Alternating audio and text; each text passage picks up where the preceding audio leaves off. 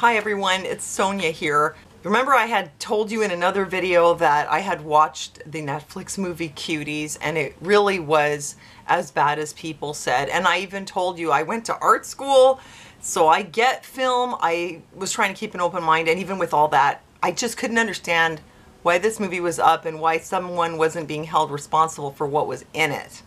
Well, now Netflix has been indicted by a grand jury over the film Cuties. Before I start, I just want to give you a little message from my partners at BioTrust. As we age, we produce less and less collagen and taking collagen is a great way to replace your collagen. This is BioTrust Ageless Collagen, which I personally really love. It contains five different types of collagen, including bioactive hydrolyzed collagen peptides. This is good for your hair, your nails, your skin, and your joints. And I really like this one because it is odorless and tasteless and it doesn't clump, dissolves in hot or cold liquids. So if you're interested, please click the link below and you can get a discount even as much as 51% off. So yes, the streaming giant Netflix has been indicted on a criminal charge from a Texas grand jury alleging that it promoted lewd visual material of a child with the release of the film Cuties. I'd have to say that I agree with that.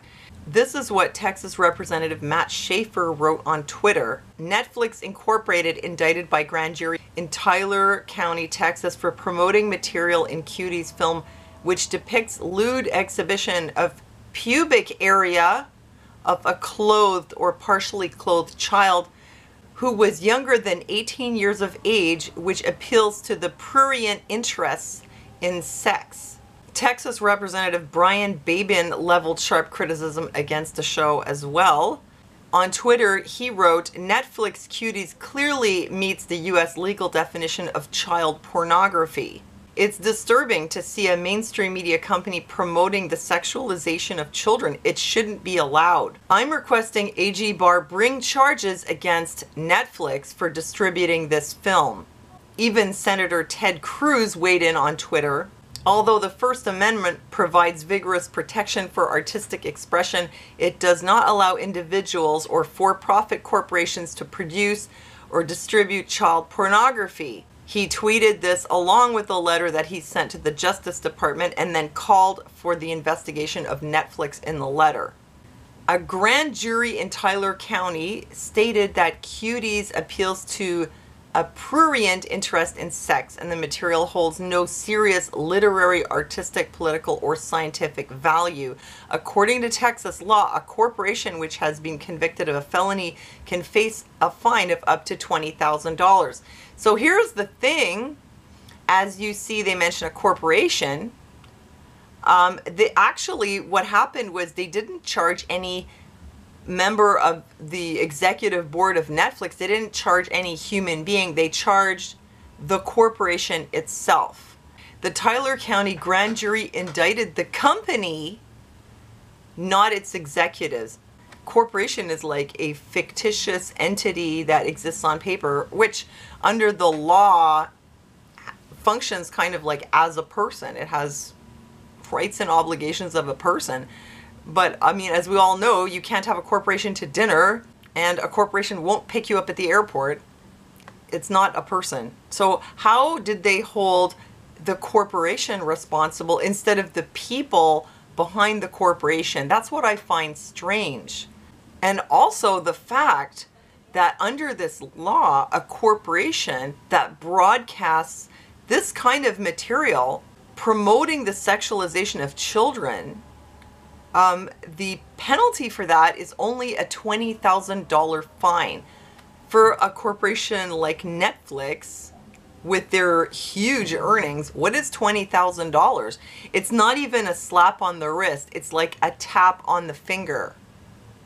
So I find it very strange that they they would go to the trouble of doing this and having this indictment and the only consequence of it is a little tap on the finger, a $20,000 fine, which is like basically chump change for Netflix. Whereas if a human being had been responsible for broadcasting something like that, which basically can constitutes a form of pornography, the clothed pubic area of a child, um, something much more serious would have happened to that person. Now, I'm not the only one who feels this way. Uh, the article goes on to explain that according to the Hill's Julie Grace Brufke, uh, more than 30 GOP House lawmakers have asked for Netflix executives to be prosecuted over the release of the controversial film. Here's a document from the Congress of the United States from September to Attorney General Barr. We're writing to recommend you bring charges against Netflix for the distribution of the film Cuties, which contains child pornography. This was the letter from Jim Banks and co signed by a number of other people. So they have asked for the um, executives to be held accountable, but so far they haven't been. And moreover, uh, the film is currently still streaming on Netflix. So I don't know about you, but I find all this very strange uh, with with all the talk about protecting children and with all the severe penalties that would be given out to any human individual person who did this. Like if Bob, your neighbor, did this on the internet, Bob would go to jail and would be put in a sex offender registry. Not your actual neighbor, Bob, if you have one. I'm talking about like a hypothetical neighbor, so don't go knocking on Bob's door and accusing him of anything. But if you had a neighbor who did this, or if you did it, which I'm sure you wouldn't, you would be in really big trouble. And you would be considered, uh, you know, you'd be on the sex offender registry for the rest of your life. Any photo of a child that is intended to appeal to sexual interest is illegal, even if the child has clothes on. This Seattle man was sentenced for taking pictures of children at a water fountain. If a man distributes pictures of children in skimpy clothing for purposes of appealing to sexual interest, he goes to jail. And somehow, when this corporation does it, uh, there's really not that much of a consequence. You know what else is amazing? even after all this, they're still trying to pass it off like the, people just don't get this film. It's really artistic. you just don't understand.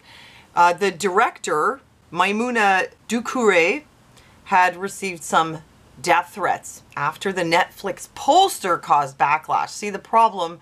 The problem, people, it was the poster, not the film, right?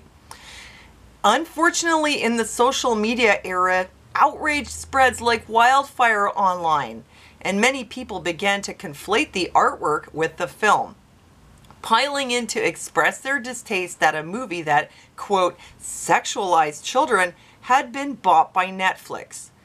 Um, yes, the problem is people are just conflating what is on the poster with uh, what is really in the film, which actually I can assure you is exactly the same thing.